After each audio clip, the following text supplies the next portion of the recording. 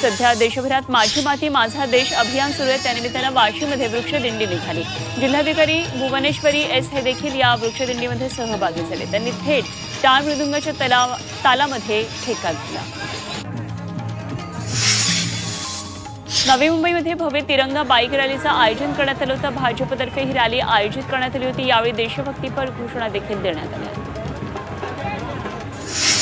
सांगलीमध्ये शिवप्रतिष्ठान पंधरा ऑगस्टला हिंदवी स्वराज्य स्वातंत्र्य दिन पदयात्रा काढणार आहे मात्र तिरंग्याऐवजी भगवा ध्वज घेऊन रॅली काढण्याचं आवाहन संभाजी भिडेंनी केलं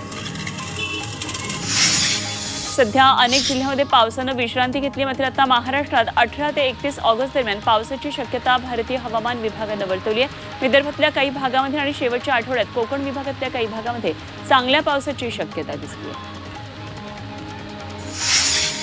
वाशिममध्ये मुबलक पावसामुळे जिल्ह्यातल्या पस्तीस लघु प्रकल्प ओव्हरफ्लो हाताला मुंग्या येत होत्या. गुडघे कंबर मान पाठ खूप दुखत होती. अमृत लोणी आर्थो प्लस घेतल्यापासून हाताच्या मुंग्या कमी झाल्या. आरोग्याचा भरोसा अमृत नोनी ऑर्थो प्लस झाले. जिल्ह्यातल्या तीन मध्यम प्रकल्प तर एकशे चाळीस लघु प्रकल्प आहेत आणि त्र्याण्णव प्रकल्पांमध्ये त्रेसष्ट टक्के जलसाठा झाला. त्यातल्या पस्तीस तलाव हे शंभर टक्के तुडुंब भरलेत. रब्बी हंगामामध्ये जाणवणारी सिंचनाची समस्या निकाली लागणार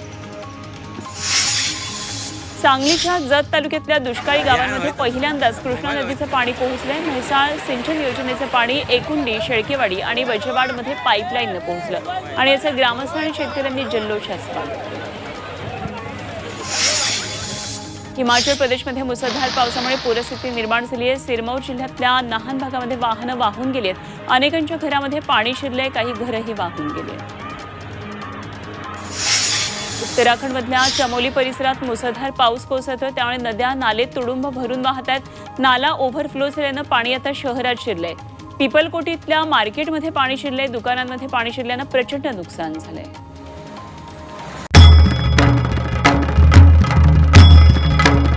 भंडाऱ्याची उधळण. म्हणजे?